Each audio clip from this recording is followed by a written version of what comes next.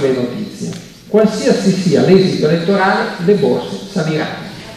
Perché ci sarà un punto fermo, che abbia vinto sì o che abbia vinto no. I mercati non tifano né per il sì né per il no. I mercati vogliono la stabilità. Nel momento in cui ci sarà un risultato elettorale, ecco che i mercati si adegueranno immediatamente. Tanto è vero che quelli che dicevano che con la vittoria di Trump sarebbero crollate le borse, ci sarebbe stato, come dire, il finimondo sui mercati finanziari, devono prendere atto che la borsa americana ha fatto sei sedute consecutive a rialzo e, a parte l'indice tecnologico, le principali indici statunitensi rappresentativi delle grandi industrie nazionali hanno fatto il record storico. Il dollaro si è rafforzato, quindi non c'è stata la fuga di capitali dagli Stati Uniti e le politiche monetarie continuano a essere esattamente quelle che erano state indicate e tracciate in precedenza dalla precedente amministrazione.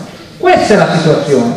Per cui non ci dobbiamo spaventare di quello che succederà il giorno successivo, perché i mercati finanziari si adegueranno immediatamente quello che naturalmente oggi li condiziona è l'assenza di certezze, perché l'esito elettorale è quanto mai incerto. Oggi hanno riportato i risultati, la differenza è minima e questa cosa sicuramente spaventa i mercati. Ma un minuto dopo che sapremo il risultato le cose si riequilibreranno. Anzi, non escludo che potremo avere anche delle sorprese, così come è avvenuto negli Stati Uniti, dove il risultato è stato decisamente sorprendente. Beh, no, in Inghilterra la moneta si è svalutata, dobbiamo, la moneta si, in A, i mercati hanno reagito male, dopo la Brexit la borsa di Londra ha perso il 10%, la borsa di Milano ha perso l'11%. Dopo Trump la borsa americana ha fatto i massimi storici e questo secondo me fa una bella differenza.